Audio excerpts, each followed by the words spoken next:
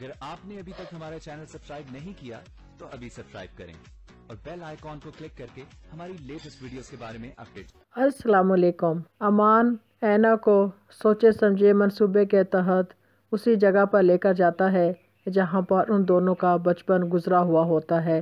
وہ اینا کو تمام باتیں یاد کروانا چاہتا ہے جو وہ بھول چکی ہوتی ہے اور صرف خواب کی صورت میں اسے یاد ہوتی ہیں۔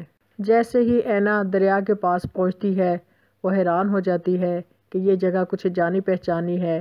وہ امان سے پوچھتی ہے، یہ کون سی جگہ ہے؟ وہ اسے بتاتا ہے، یہ دریا باغ ہے۔ اینا گھر دیکھ کر حیران ہوتی ہے۔ گھر کے باہر لان اور جب وہ اس کو دریا کے اوپر، پل کے اوپر لے کر جاتا ہے، تو وہ اور زیادہ حیران ہوتی ہے کہ یہ پل وہ پہلے بھی کراس کر چکی ہے۔ تب وہ امان سے کہتی ہے، یہ ساری چیزیں مجھے جانی پہچانی لگتی ہیں۔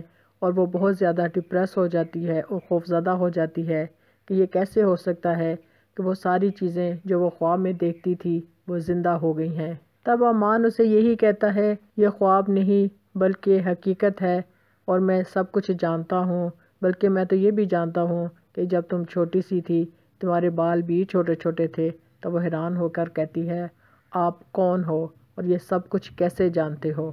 امان کا اینا کو دریا باغ میں لے کر جانا اصل میں کہانی میں ایک نیا موڑ سامنے آنے والا ہے، جس میں وہ اس کے باپ کی اصلیت کھول کر سامنے رکھنا چاہتا ہے اس کی اپنی ہی بیٹی کے نظروں میں۔